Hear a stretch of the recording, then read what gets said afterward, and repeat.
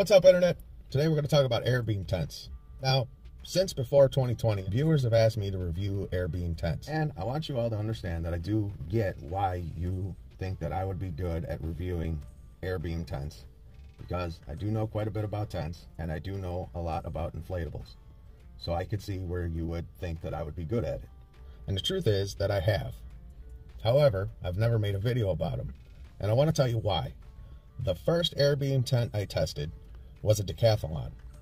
Now, it actually had a lot of room, and I don't remember what the name of it was, but it didn't hold air and it leaked water. So that one was out.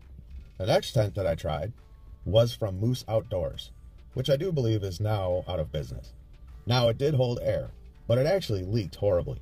And the reason was that the waterproofing actually came out the back of the vinyl. As you can see in the pictures, where the white spots are is actually where the waterproofing broke away from the back of it.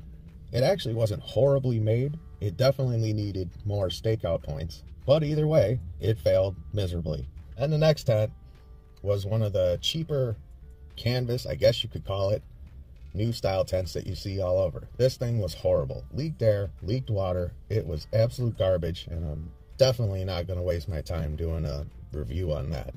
A friend of mine had an Outwell, and Outwell is actually a big name for Airbeam tents. However, he had problem with water, which is funny because if you look at their hydrostatic head on Outwell, it's usually pretty high. So why he had this problem, I do not know. It did hold air, but again, in all fairness to Outwell, it was one of their lower end ones. Another friend of mine had a Vango. Now, I actually kind of liked the Vango. It didn't leak air, but it did leak water in certain spots. But for the price, I don't know many people that would have paid for that knowing that it leaked. Now, we did end up fixing it. We seam sealed it and we covered it. The one thing I did like about the Vango is they actually used the right valve. As I mentioned earlier, I am big on the inflatable boats, as many of you know, and I have no clue why tent companies do not use the same valve as a inflatable boat or a paddleboard.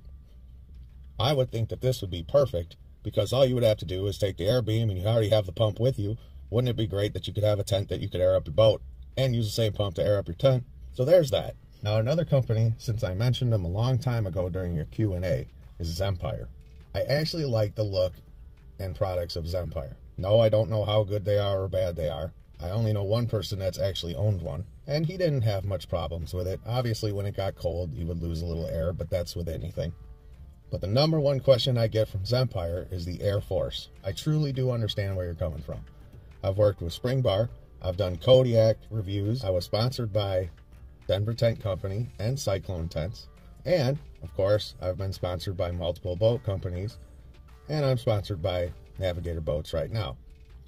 So you would think that those two put together, that I would be able to make a good call on what a good canvas tent and a good air tent would be. And I do also understand that Zempire does not have a lot about that tent other than a put up video, a takedown video, and a walkthrough video. A lot of people also say about that tent is how heavy it is. But I do want you to also think about I use a T8 with the G6 gazebo. The Air Force mm-hmm. tent would actually take the place of both of those. It has an awning in the front of it and it has the tent. So if you look at the grand scheme of things and put it all together, they're probably about the same weight and they definitely take up the same room.